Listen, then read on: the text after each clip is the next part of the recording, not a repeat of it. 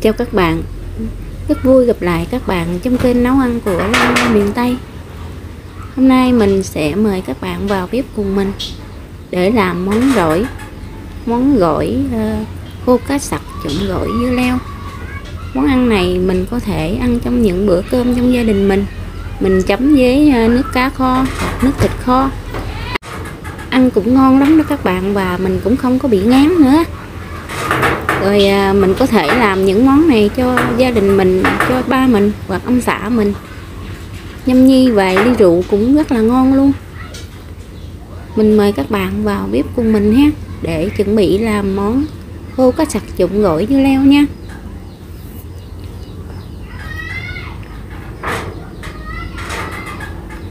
Mình có ba con khô cá sặc ha và 600g dưa leo các bạn mua dưa mình lựa dưa trái cho nó xanh bóng như thế này nè, thì mới là dưa mới nha. Và một mớ rau răm. Và gia vị thì mình có hai muỗng cà phê tỏi. Và ớt sừng á, mình mua ớt sừng cho không cay hung ha.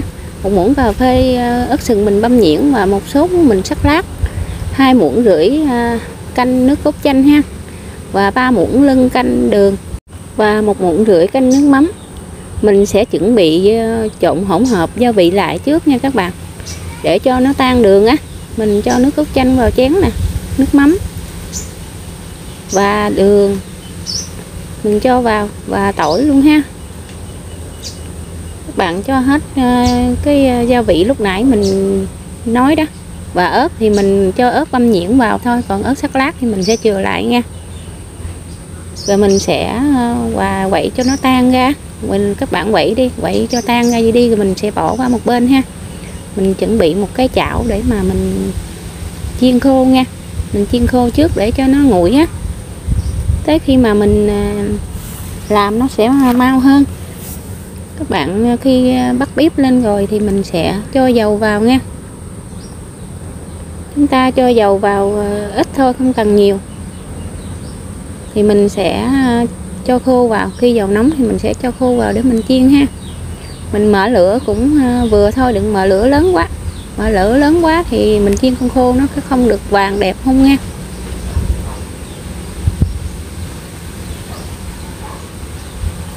Mình chiên khô, mình cảm thấy à, khô nó vàng rồi á. Thì các bạn sẽ à, trở bề lại nha.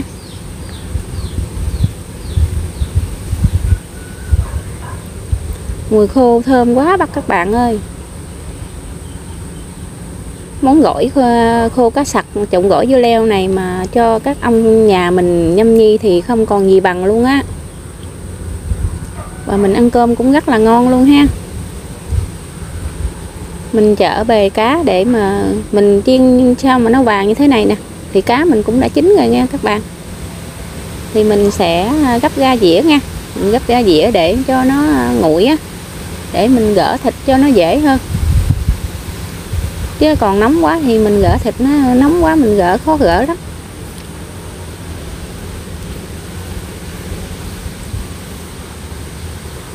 Vậy là khô mình chiên xong rồi ha, thì mình sẽ chuẩn bị sắt sắc dưa leo nha.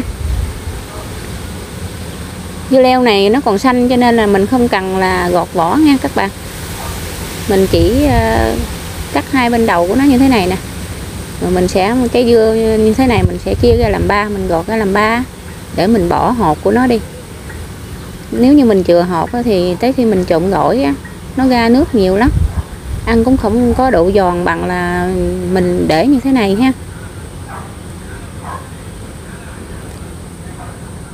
Thì mình sẽ sắt miếng à, đừng có mỏng quá nha. Các bạn sắt vừa vừa như thế này nè, để mình trộn gỏi ăn nó sẽ giòn hơn còn nếu như mà các bạn mà sắc mỏng quá, thì mình trộn gỏi ăn dưa leo nó sẽ không có độ giòn nha. Khi mình sắc à, dưa leo xong hết rồi đó, mình sẽ cho vào một cái thao ha.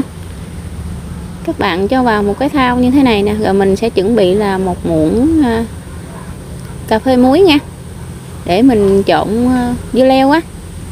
Các bạn trộn dưa leo độ khoảng chừng 5 phút thì mình sẽ đem xả mình rửa lại để cho nó ờ, ra bớt đi cái nước của trái dưa khi mình trộn gỏi ờ, cái dĩa gỏi mình nó sẽ gáo hơn. Đó, mình vớt ra gỗ như thế này nè.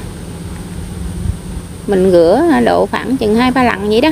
Thì mình đợi khoảng 5 phút thì mình sẽ chuẩn bị để mà mình trộn gỏi. Khi mình sẽ sạn trộn gỏi thì mình sẽ ờ, lật cao găm ha.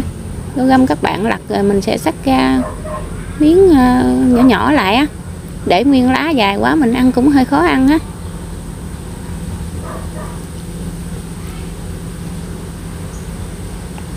Mình sắc cộng như thế này nè. Thì khô cũng đã nguội rồi ha, mình sẽ chuẩn bị gỡ thịt ờ, của miếng khô nha các bạn. Mùi khô thơm quá. Khi mình mua khô á, các bạn lựa khô cho nó ờ, tươi tươi quá, chứ đừng có mua khô cũ quá, khô cũ quá mình ăn nó sẽ bị hơi dầu nha rất là dễ gỡ luôn. Mình sẽ lấy xương mình bỏ hết. Nhìn miếng cá rất là đẹp luôn các bạn, thấy không? Nó vàng ươm rất là ngon luôn. Mình chiên nó vàng như thế này cá ăn mới ngon. Thì mình sẽ chuẩn bị trộn gỏi ha. Mình cho dưa leo vào trong thao lại. Mình lấy chén à, nước sốt lúc nãy mình pha hỗn hợp đó, thì đường cũng đã tan rồi. Thì mình sẽ à, cho vào trong cái thao dưa leo này nha các bạn cho vào hết ha. Khi các bạn nêm nếm lại á, có thiếu gia vị gì thì các bạn sẽ cho thêm vào nha. Tại vì mỗi người mỗi khẩu vị khác nhau á, cho nên là mình không biết các bạn có thích ăn chua nhiều hay là chua ít. Thì mình sẽ trộn lại đều như thế này. Mình chờ độ khoảng chừng 5 phút á, thì nó cũng đã thấm rồi và ăn cũng rất là ngon rồi đó. Giờ này là ăn được rồi đó các bạn. Nhìn cái miếng dưa leo nó trong chẻo rất là đẹp luôn mình trộn mình để 5-10 phút như vậy đó thì nó thấm vô nước chanh, nó thấm vô miếng dưa leo á. Ăn rất là ngon luôn. Thì à, mình cho ớt sừng lúc nãy mình sắc sợi đó. Nếu các bạn ăn cay được thì mình để vô thêm ha nhưng mà ớt này nó không có cay đâu. Mình chỉ để vào để cho nó bắt mắt, nhìn nó bắt mắt một tí thôi, cho nó đẹp mắt mình á. Và mình sẽ cho khô vào luôn. Các bạn nếu như mà không muốn à, để cho trộn chung với nhau á, thì một lát nữa mình gấp ra dĩa rồi mình cho khô lên mặt cũng không sao ha. Nhưng mà nếu như các bạn mà trộn chung như thế này á, thì à, miếng cá của mình á, miếng khô á, nó sẽ thấm cho nước cốt chanh ăn rất là ngon. Mình sẽ cho vô găm vào ha. Mình à, gấp ra vỉa để cho các bạn thưởng thức nha, các bạn thưởng thức của mình ha. Vị chua chua của nước cốt chanh và mặn mặn của khô cá sặc vào viện vào nhau. Và mình ăn chung với dưa leo á. Nó mặn mặn, ngọt ngọt và dưa leo nó giòn giòn, ăn rất là ngon luôn á các bạn. Video của mình đến đây cũng đã kết thúc rồi. Nếu quý xin các bạn cho mình một lượt chia sẻ, một like và một đăng ký kênh. Hẹn gặp lại các bạn trong video lần sau.